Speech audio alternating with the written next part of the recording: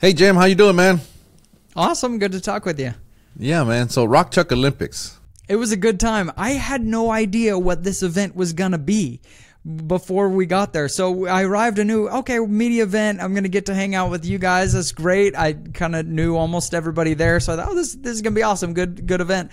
And then I show up and they're like, oh, this is a shooting competition. And you'll just be shooting against two world champions plus some other awesome shooters. Like, what is going on here? it was fun. It was fun. So anyway, I want to get your reaction on the hidden rock chucks. Uh, this was a fun stage. I've never done anything of the like, so I had a ton of fun, and we all had different strategies going into it, which uh, some of them paid off and some of them did not. Yeah, my strategy going in, I, I was dead last on this, and we didn't get to see the you know the the route, the stage that we were shooting, but I did get to hear everybody, and you could hear how far apart the the shots were, how long their time was, things like that, and everybody was running it in like two minutes, like way fast and, but missing quite a lot. And so, okay, I'm going to take my time here because nobody was even close to, to timing out. And so that was my strategy going in while wearing a shirt that was like three sizes too big. All right, Jim, stage one hidden rock chucks. What are you feeling? I'm feeling excited. I'm just ready to shoot. This gun is freaking sick looking. You were way and too I'm ready excited to put about it to that gun. work. Awesome. Oh, it was so cool. That's the Stag Arm Spectrum. It, oh man, it is beautiful. Your time starts. So talk me through what's going on here. Well, so again, because everybody was going so fast, I was not hurrying at all. And I was kind of focused on not running between shots here to keep my heart rate down low because I thought, oh, if I've got the time, I'm going to just take it easy and chill. That ended up biting me by the end. So I'm, you know, I'm just giving a little old man shuffle here between stages. I'd sh- I've shot you know NRL Hunter before, and I've even been to a you know a, a course on long ra- on uh, NRL Hunter, and so I kind of feel like I'm not horrible at that game. Um, but man, I struggled mightily with target identification here.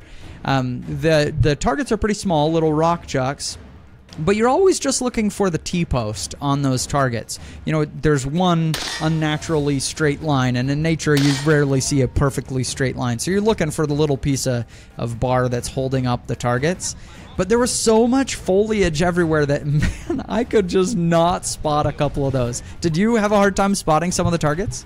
That second one gave me trouble as well. Man, it was much harder than what I was used to.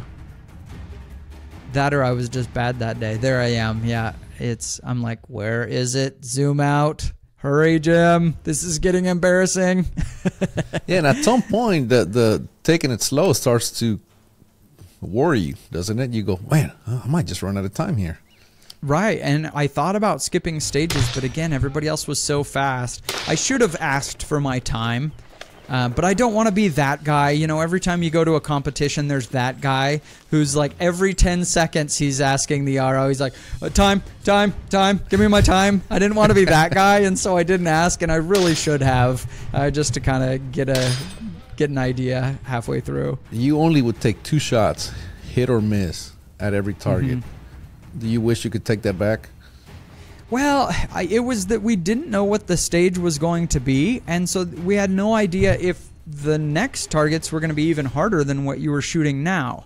And I, I remember as I looked at the start of the stage, the canyon kind of opened up and got wider. Um, and so I thought if we're shooting side to side, the shots could get longer and harder as we go.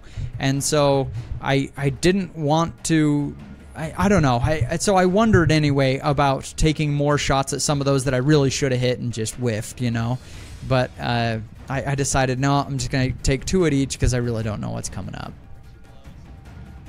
There I am messing with the mag ring again. I, normally, you know, you wouldn't really zoom in and out hardly at all in something like this mostly I was trying to identify the targets, and there were you know little stumps and things, and I couldn't quite tell if it was. They they did a good job kind of hiding some of the T posts with some foliage, and so it was just hard to tell for sure if that was the target.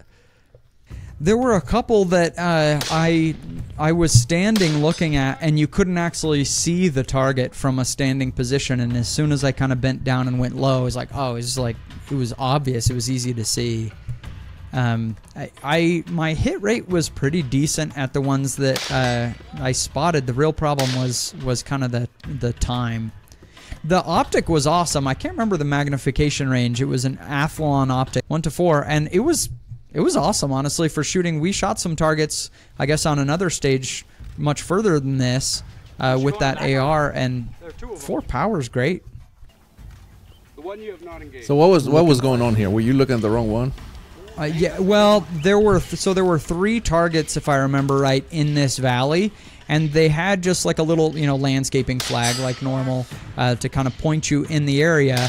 Um, but it, the flag was like honestly kind of between two, and so it was not clear. And so I took a minute because I didn't want to. If I engaged the wrong target, obviously it's not gonna not gonna work.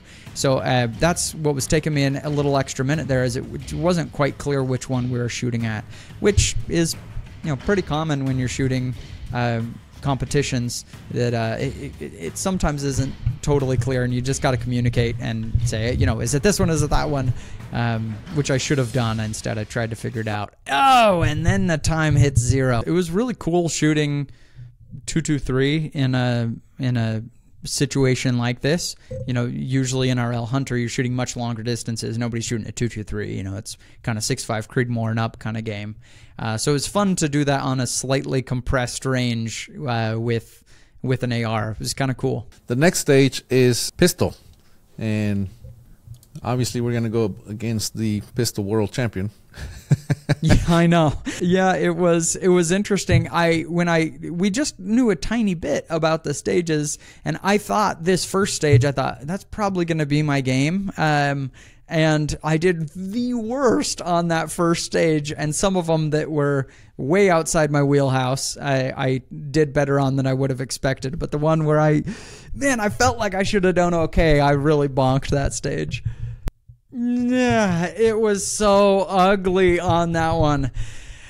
Uh, that's the one I should have done well. And so the rest of the competition, I was just digging out of that hole that I created on the very first stage. I just, if I wish we would have had a mulligan.